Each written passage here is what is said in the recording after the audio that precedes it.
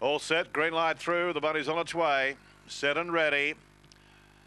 And racing, back page lead, won the jump off the inside. Smart Valentino's got away well. Bellhaven was between runners. Gully Miss in front of it, and Bellhaven got pratted. Getting through underneath them, Regal Gate. Now, back page lead, leads Zacconi down the running the first time. Smart Valentino is six lengths away third. In fourth position was Regal Gate. Bellhaven's got too much to do at this stage, and the tail ender, Gully Miss. Back page lead is the front runner. Smart Valentino running third is the one tacking on. Zacconi's running second. The leader's no good thing thing. Gap on the field, Regal Gate, Bellhaven, the tail into Gully Miss. Back page lead by two. Smart Valentino, the youngsters on the scene. In front is back page lead. Smart Valentino to the outside. Uh, back page and Smart Valentino and Smart Valentino too good. Smart Valentino good up on the line to win the money. Back page lead second and Bellhaven grabbed third. They were followed by Zacconi, Regal Gate and Gully Miss was the tail ender.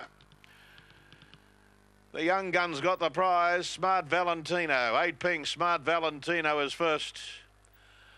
42.63 is the time. To the checks. Back page leads second. And one the red. Zacconi has got third. In front of number seven, Bell Haven. So it's 8, 2, 1 and 7. Three quarters by one and three quarters. Three quarters by one and three quarters. And the time 42.63. Smart Valentino by Where's Pedro out of Smart Betsy is uh, owned by Mark Swift and trained by Mark Swift of Lithgow. To the checks, back page lead Stephen White second and